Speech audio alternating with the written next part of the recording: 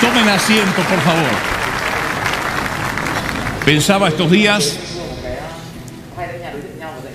recordaba cuando enamoré a Liliana, ¡Ah! que fue hace muy poquito, porque somos muy jóvenes los dos, yo mucho más joven obviamente, pero recuerdo hablar mucho por teléfono, mucho, estábamos meta a hablar por teléfono para conocernos. Y en aquel entonces yo le daba la mejor versión de mí. O sea, ella nunca pensó que yo roncaba. Nunca, nunca pensó que yo me movía tanto en la cama. Ella cuando yo viajo dice, ay, tengo la cama para mí sola, no hay alguien que se mueve, que ronca, que me levanto de noche. Entonces, este... Y creo indudablemente que con los años hemos cumplido 20 años juntos, o 21, si contamos el tiempo de novios. Y creo que no hay no hay otra persona en el mundo que yo conozca más, y creo no debe haber otra persona en el mundo que ella conozca más. Tenemos una historia juntos, anécdotas y cuatro hijos que nos unen. Y en dos palabras, nos conocemos. Y yo quiero hablar de eso, de lo que significa conocer a Dios, porque es lo mejor que nos puede pasar conocer a Dios. Una cosa es creer en Dios la mayoría cree en Dios. Hasta los ateos dice, yo soy ateo gracias a Dios, ¿no? Pero otra cosa es conocer a Dios, tener una intimidad con Él. Porque creer cree cualquiera. De hecho, la Biblia dice que los demonios creen y tiemblan. Así que los demonios creen, pero eso no los hace cristianos. Pero sin embargo creen. Y hay un montón de gente que sí cree en Dios. A mí me sorprendió venir a California seguramente lo sabrán otras partes del mundo, pero a mí me sorprendió venir acá y ver muchos cristianos o creyentes, mejor dicho, culturales, gente que viene para Easter, para Christmas, para la Pascua y Navidad, pero luego no vienen todo el año. Pero yo digo, ¿qué hace que un creyente se diga cristiano y sea un cristiano cultural o nominal? Algunos se saben versículos de memoria, pero viven como si no existiera Dios. De hecho, que nuestras congregaciones, no solo aquí, ahora en otras partes del mundo, está llena de ese tipo de cristianos que van a la iglesia, pero no tienen temor de Dios. O sea, no, les, no tienen problemas de pecar, por ejemplo. Yo me he topado con gente así, gente que uno los ve como un cristiano fiel, que adora, que viene a los servicios, algunos vienen seguido, y un día uno descubre que simplemente abandonó a la mujer porque le gustó otra y cambió de mujer. E independientemente de lo que haya pasado en ese matrimonio, porque cada matrimonio es un mundo, lo sé, mi pregunta es, ¿cómo puede ser que el Dios al que sirve no le causa ni una reverencia, ningún temor a ver si hago esto y salgo de la mano de Dios? A ver si hago esta cosa y salgo de la mano de Dios. He conocido gente que ha estafado, que sigue estafando y viene a la iglesia, porque son cristianos culturales que compensan viniendo a la iglesia una vida de hacer las cosas mal. Eso yo sé que aquí no pasa porque gracias a Dios Dios me dio una iglesia muy santa, muy pura y llena de gente íntegra. Pero para que sepan lo terrible que está allá afuera de la Catedral de Cristal. Gente que son cristianos culturales. Otros lo conocen a Dios a través de algún recuerdo. Porque alguna vez tuvieron un encuentro personal con Él. Dices, no, no, no, no, no. Yo tuve un encuentro personal en el 82, en el 97, en el 2003. Tuve un encuentro personal. Hace poco viajé a Atlanta. No me acuerdo porque estaba haciendo conexión a alguna parte. Hace muy poco, hace unas, creo que un mes atrás. Y de pronto conocí a Leonardo DiCaprio. Él estaba allí en el, en el avión, viajando en business al lado mío desayunamos juntos, dormimos juntos. Él iba con su novia, obviamente. Este, él estaba con un sombrero y yo vi que, estaban convulsionados las, los sobrecargos, los, eh, las azafatas estaban convulsionados y yo digo, wow, realmente Telemundo está haciendo un buen trabajo, todo el mundo me conoce. Porque miraban para mi lado y decían, wow, wow, yo hacía... Y luego de saludar como un sonso, me di cuenta que nadie me conocía, que era Leonardo DiCaprio que estaba atrás mío con su novia. Tuve un encuentro con él. Cuando llegué a casa, le dije, Liliana, viajé con Leonardo DiCaprio. Yo lo conocí personalmente, pero dudo que si ustedes se encontraran con Leonardo DiCaprio y le preguntaran sobre Dante, que él recordara que me conoció. Porque eso simplemente miré y con mi fluido inglés le dije hi y luego bye. Y, y tuvimos un encuentro. Pero yo no puedo decir que conozco, que Él me recuerda. Hay de los que alguna vez se encontraron con el Señor o vinieron a la cadena de los siete días o estuvieron en una campaña, una cruzada, con quien sea. Y dice, sí, yo tuve un encuentro con Él. Pero si le preguntamos a Dios si te conoce, ¿te conoce? DiCaprio no me conocería. DiCaprio estoy seguro que no recuerda quienes viajaron con él allí en, el avión. Yo sí lo recuerdo porque él es una, una, una celebridad de Hollywood. Pero yo no soy una celebridad de Hollywood, así que él no me recuerda. Pero yo me pregunto si Dios recuerda, si eres conocido en el trono. Porque muchos oramos y decimos, Señor, hazme conocido, llévame a los estadios, a las naciones. Mi pregunta es, ¿te conoce Dios en el trono? ¿Vas periódicamente? ¿Tienes intimidad con Él de modo que tienes una relación? ¿Has construido una historia junto a Él? Porque uno tiene que construir una historia. Yo construí una historia con Liliana y ella construyó una historia conmigo. De vez en cuando nos agarra la nostalgia, recordamos aquel primer departamento, eh, cuando no había casi lugar, cuando no teníamos una cama y teníamos que abrir el sofá cama todas las noches. ¿Te acordás? Entonces, y hemos construido una historia tan maravillosa que yo creo que todos podrían contar un libro de sus historias si pudieran. Y eso es lo que hace nuestra relación estable, duradera, amalgamada, cóncavo y convexo. Nos complementamos. No nos une necesariamente la pasión, no nos une el sexo, no nos une el que nos gustamos, no algo tan superficial, aunque todo eso pueda formar parte. Y yo soy un Latin lover, obviamente, pero yo tengo que decir esto para que mi esposa diga, sí, mi amor, realmente lo eres. Pero digo, lo más importante, y fuera de toda broma, es que construimos una relación. Y el Señor dice, tú tienes una relación conmigo, has construido una relación. Hay una palabra en Primera de Juan capítulo 2 versículo 3. ¿Cómo sabemos, dice una versión, si hemos llegado a conocer a Dios? ¿Cómo sabemos si construimos una historia con Él? Si obedecemos sus mandamientos. El que afirma, oigan, lo conozco, pero no obedece sus mandamientos, es un mentiroso y el tal no dice la verdad. Wow.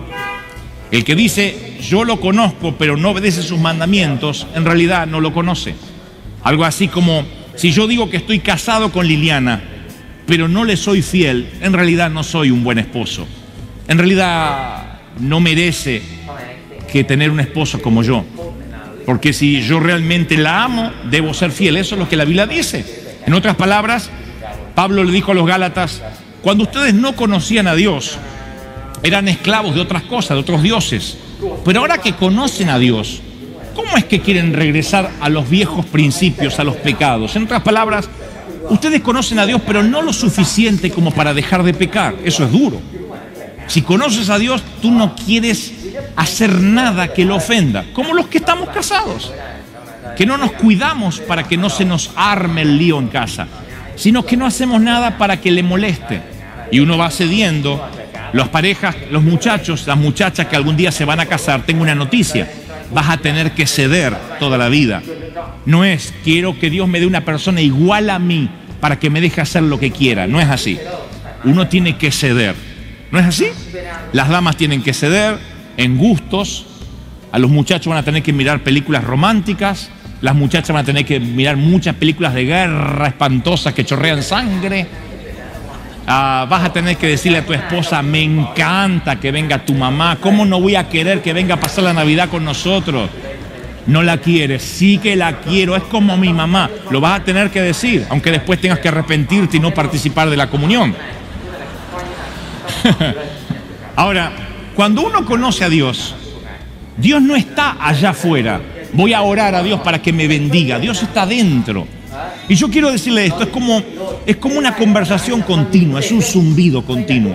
Cuando el Señor dijo, orad sin cesar, es que uno continuamente va diciendo, Señor, ¿te parece que haga esto? Uno sube, yo en mi caso subí al avión esta mañana y digo, Señor, ¿qué quieres que predique hoy? ¿Me vas a dar fuerzas a pesar del cansancio? Eh, le decía, Señor, ¿qué va a pasar mañana? Hacemos una cadena de los siete días. No tengo que estar arrodillado, estoy hablando con Él todo el tiempo. Cuando me pasa algo malo, digo, Señor, ayúdame. Puedo sentir que Dios está allí como un zumbido todo el tiempo, como que estuviera metido en mis oídos, en mi mente, en mi conciencia. Y alguien hizo un experimento que yo se los voy a leer. Se llamaba Frank Lovach, hace muchos años. Él escribió un libro basado en este experimento titulado La práctica de su presencia.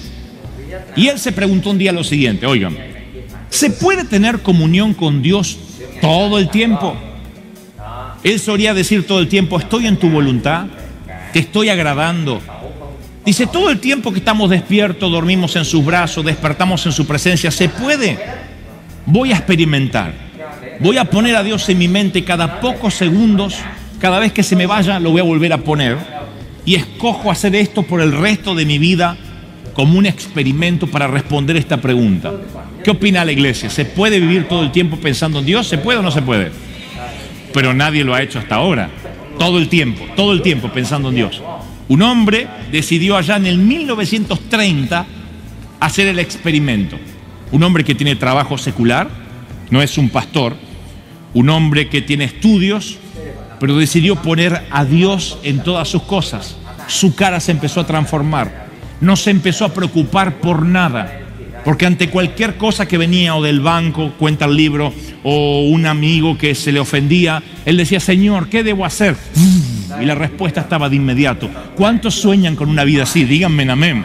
¿Cuántos quieren un Dios todo el tiempo que les cambie la cara, el rostro, la vida, la mente, las finanzas, el trabajo, la semana? Por Dios, que alguien me diga amén, que alguien me diga yo creo en ese Dios. Ahora, ¿cómo podemos lograr eso? Porque yo no le voy a decir esto para que se frustre y diga, ay, yo qué carnal que soy, nunca lo voy a lograr.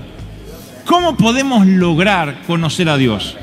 El nombre revela el grado de intimidad que tú tienes. Dice la Biblia, en ti confían los que conocen tu nombre. ¿Cómo lo llamas a Dios? ¿Cómo lo llamas?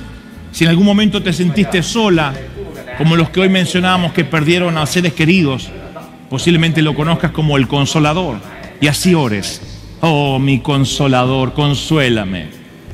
Si en algún momento estabas ajustado y apretado de deudas, posiblemente lo conozcas como un Dios proveedor. Y ese es el Dios que tú de inmediato reaccionas. Hay una deuda grande y dice, no hay problema, Él es el proveedor, porque yo lo conozco. Y si posiblemente tu esposo te abandonó y te dejó sola con niños, lo conozcas a Él como tu esposo. Aquel que te cobijó, aquel que fue hombre de verdad, aún siendo Dios.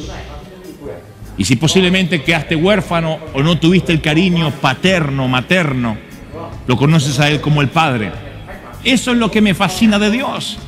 Que más allá que yo lo conozca como Padre, tú como consolador eh, o proveedor o como sanador, Él te conoce también por tu nombre. ¿Cómo te dice Dios a ti? Mi siervo es bueno, es un adelanto, pero los siervos no saben lo que hacen su Señor.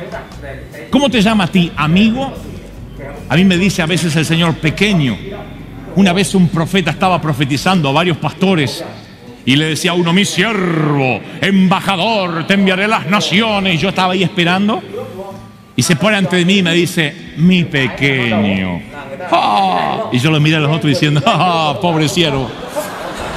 Yo era el pequeño. Mi niño, me decía el Señor. Mi pequeño. La niña de mis ojos. Me crees todo. Y me dijo unas palabras tan hermosas que no las hubiese cambiado por un siervo te he levantado, apóstol, arcángel. Me encantó que me dijera, mi pequeño. Así que cuando yo voy a su presencia, recuerdo aquella palabra profética y le digo, Señor, soy tu pequeño. Y lo bueno de él es que no existe ya no te amo. Les hablo a las mujeres que alguna vez se encontraron con el horror de un hombre que le dijeron, ya no me despiertas nada y te voy a dejar. Qué horrible. Les hablo a los hombres que un día descubrieron que su mujer ya no los miraba como antes, ya no te admiraban y empezaste a creer que a lo mejor el amor no era para toda la vida. pero el Señor sí te ama para toda la vida. Cada vez que leo ese episodio, digo, de tal manera amó Dios a Dante, que ha dado su Hijo unigénito para que Dante no se pierda, mas tenga vida eterna. Pon tu nombre ahí cada mañana. Pon tu nombre cada mañana. De tal manera Él me amó para que yo no me pierda. Aleluya. Vamos a hacerlo juntos, aunque sea la primera parte, va a ser un lío. Pongan su nombre. De tal manera amó Dios a, y ahí vamos a decir cada uno el nombre, pero fuerte, el nombre de cada uno, porque es una declaración profética y en televisión también. De tal manera amó Dios a... Qué lindo. Y ustedes dicen, pero ¿y cómo hace Dios con tantos nombres? Cada uno de ellos es especial. La Biblia habla de, de un pastor que tenía 100 ovejas y deja las 99 para buscar una habla de una mujer que tiene 10 monedas y, busca la que se le perdió y revuelve las alfombras, busca debajo de las alfombras, mueve los sillones. La Biblia habla de un hijo que se va y otro que se queda y el padre espera con ansiedad el hijo que vuelve. Toda la Biblia habla de ti. Y cuando el Señor te ve en el horizonte como un puntito que dices, papi, quiero volver a casa, él abre los brazos y dice, estoy desesperado por abrazarte, no sabes cómo te amo. Aunque amo a otros, tú eres un amor muy especial para mí, te tengo en el hueco de mi mano, te tengo esculpido en mis manos. Aleluya. No solo el nombre revela cuánto le conoces, sino la manera en que tú oras. Porque una cosa es creer en Dios y otra cosa es creerle a Dios. Escuchen esta historia fascinante. Una iglesia empezó a orar para que el bar de la esquina donde vendían licor se cerrara. Y el pastor decía, vamos a orar y no vamos a parar hasta que la licorería cierre. Luego de orar durante siete días, porque hacían cadena de siete días, porque el pastor era muy sabio y hacía cadena de siete días, el séptimo día, ¡bum! cae un rayo y le quema toda la licorería al ateo de la esquina. ¿Qué hizo? Como estaba en Estados Unidos, demandó al pastor y a la iglesia. Los demandó por haber orado, porque él decía ese rayo cayó porque ellos oraron. Cuando fue el caso a la, corte, el pastor inmediatamente negó todo, dijo, no, no, no, no, no, no, nosotros oramos para que se cerrara, aparte fue casualidad que el rayo cayera, no tiene nada que ver con nosotros, porque le iban a poner una multa grandísima. Dijo, no tiene nada que ver con nosotros. Y el juez dijo, Qué sorprendente. Es la primera vez que tengo a un ateo delante de mí que cree en el poder de la oración y a un pastor que no cree que la oración pueda hacer algo.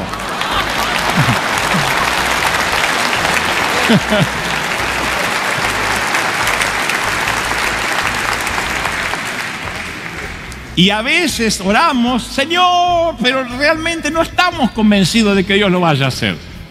Y si Dios manda un rayo a la licorería, decimos, bueno, pero ahí no fue Dios, es algo natural. No estamos convencidos de que Dios lo puede hacer, porque no conocemos lo que Dios puede hacer. ¿Cuántos quieren conocer al Dios grande de verdad? Díganme amén, por favor. Un Dios maravilloso, grande. Oigan, voy a terminar con esto. Cuando le conoces, le hablas con sinceridad. Mi hijo a veces me dice, uno de mis hijos, que no le diré cuál, me dice, papá, tengo miedo de la oscuridad. ¿Tengo que tener miedo? No, hijo, no tengas miedo, todo va a estar bien. Y le abro la ventana para que entre la luz de la noche. Ahora imagínense que mi hijo, yo lo anoté, porque así oramos nosotros, me dijera, grande y omnipotente Padre de familia, requiero de tu presencia, gran proveedor de juguetes y los alimentos. Otórgame tu presencia en las vigilias de la noche, porque aquí que me acosan temores permanentes hasta que los primeros rayos del sol irrumpan por mi ventana y aplaquen mis temores de las saetas nocturnas. ¡Aleluya! Yo digo, está loco, le doy una pastilla para que se duerma. Mi hijo me conoce y tiene relación conmigo y entonces me puede hablar con sinceridad. Me dice, papá, tengo miedo a la oscuridad. No tengas miedo. ¿Cómo es tu manera de orar? Además del nombre, además de cómo lo llamas. Porque si lo llamas Dios omnipotente, a lo mejor es porque realmente no lo conoces. A lo mejor no sabes qué decir. A lo mejor crees que solo tienes una o dos oportunidades de hablarle y tienes que decirle todo junto. No, puedes hablar todo el día con él. Entonces a veces pensamos que Dios nos abre las puertas una vez. Padre Celestial, bendíceme, Señor, prospérame, Señor, que me salgan los papeles también de la migración, Señor, que mi suegra no venga nunca más a casa, bendice a mis hijos, que me salga la rebeldía. Con Dios todo el día. Mi hijo no, no puede decirme eso cuando llego a casa. Hoy llegué de Dallas y ninguno de ellos me dijo, papá, necesito que me compres todos los útiles, que me compres colegio, que me lleves al colegio, que me compres una nueva mochila, una cartuchera, que también me cambie la ropa, señor. Porque yo digo, estás loco. Tenemos todo el día para estar juntos. ¿Cómo hablas con Dios? Si lo conoces, oigan, a veces el grado de intimidad te permite, te permite estar en silencio. Cuando yo llego a un país, a un, a un aeropuerto, generalmente hay alguien con un cartelito así que dice Dante Gebel. O me dice Dante, pero yo no tengo idea quién es, es un hermano en Cristo. Pero a mí me incomoda todo ese tiempo. Lo primero que pregunto es, ¿cuánto hay hasta el hotel? Porque tengo que llenar los espacios vacíos, incómodos, con una persona que acabo de conocer. Entonces nos subimos y siempre las preguntas son iguales. ¿Y calor en California? Eh, calor, calor, calor. Acá no hace tanto calor. No, no, acá no, acá no. Hace mucho viví en California y más o menos un año y algo. Ah, la catedral, linda, linda, linda. Y me siento incómodo del silencio, entonces quiero decir cualquier tontería, ¿no? Porque no hay tal grado de confianza como para permanecer en silencio. Pero cuando viajamos con mi esposa y nos vamos de vacaciones a algún lado, tenemos tanta intimidad que si los dos queremos estar callados, hay tanta intimidad que no tenemos que llenar los huecos vacíos. Cuando tú tienes intimidad con Dios, no tienes que decir, Padre Celestial, Señor Jesús, aleluya. Padre Celestial, te pido, Señor Jesús, que me bendiga. Te pido que me ayude, Señor Jesús, que me. Te pido que No tienes que llenar. Tranquilo. Si lo conoces a Dios, no llene los espacios, no le digas Señor, Señor, no hay que decirle papá, papá, papá, papá, papá, papá, papá, papá, papá, papá, papá, papá, porque cansa. Simplemente habla con Él. Quédate en silencio, óyelo, escúchalo. El grado de intimidad también se ve por el silencio, por el nombre, por cómo Él te conoce a ti, por el nombre que lo conoces a Él y por el silencio. Yo llamé a este mensaje la tercera línea, por lo que les voy a decir ahora al final, la tercera línea. Hay algunos que solo han cruzado la primera línea y hoy están aquí. La primera línea es que quieren estar del lado bueno, quieren ser de los buenos, quieren que Dios los bendiga, son creyentes. Vienen una, dos, tres veces, son creyentes culturales, hoy les hablé cruzan la primera línea. ¿Usted es cristiano? Sí, soy cristiano, me congrego en la catedral. Pero no se comprometen, no oran, de lunes a sábado no tienen vida espiritual, no leen la Biblia durante toda la semana, no la leen, algunos ni la traen a la iglesia el domingo, porque dice el pastor total la lee, no tienen vida propia, viven de espiritualidad prestada, son los nietos de Dios, los que alguna vez escucharon de Dios, pero no tienen su propia historia con Dios. Mucha gente cruza esa primera línea y ahí se queda. Muchos. Hay otros que cruzan la segunda línea. Ok, me voy a comprometer mientras que no me incomode. Yo me comprometo mientras no me quite mi tiempo. Me comprometo con Dios siempre y cuando yo pueda ofrendar de lo que me sobra. Si tengo que diezmar de lo que no tengo y esforzarme para diezmar, no, ya no. Yo no soy esclavo de nadie, soy libre. Gente que se compromete, pero cuente conmigo, pastor, hasta mañana si no llueve. Gente que, mientras que no lo incomode el Señor, están allí, cruzan la segunda línea. Uno no puede contar con ellos, el Señor no puede contar con ellos. Quieren ser felices, tienen sus sueños. Señor, hay cosas que te voy a pedir que no te metas porque son mías y privadas. Cuando voy el domingo, ahí te voy a decir en qué cosas puedes meterte en mi vida. La segunda línea. La tercera, las cruzamos algunos con mucho dolor, pero no hay mayor placer que cruzarla luego. Es estar completamente comprometido y entregado al Señor, pero en lo absoluto, completamente. Miren lo que les voy a leer para finalizar. Escriban esto en las tablas de vuestro corazón y átenlo a vuestro cuello. A mí me fascinan estos episodios bíblicos que dicen lo siguiente. El que quiera salvar la vida la perderá, pero el que quiera el que pierda su vida por mi causa la va a encontrar. ¿De qué sirve ganar el mundo entero si pierde la vida? ¿Podrías sacrificar tus sueños, tus esperanzas por él? Sin embargo, considero que mi vida no tiene valor con, tal de que termine mi carrera y lleve a cabo el servicio que el Señor me encomendó. Todo lo considero pérdida comparado con conocer a Cristo. Lo he perdido todo y lo tengo por estiércol. El apóstol dijo, para mí es estiércol, es popó ser el mejor empresario, tener mi propia casa, tener el auto del año, es popó, estiércol comparado con conocer a Cristo. Porque todo pasa a un segundo plano cuando cruzas la tercera línea, cuando solo te importa conocerlo y agradarle a Él. ¿Cuántos hoy quieren cruzar esa tercera línea? Levanten la mano como señal. No se apuren. Se van a meter en un lío. No digan, sí, Señor, cruzar la tercera línea es renunciar a todo, solo por Él.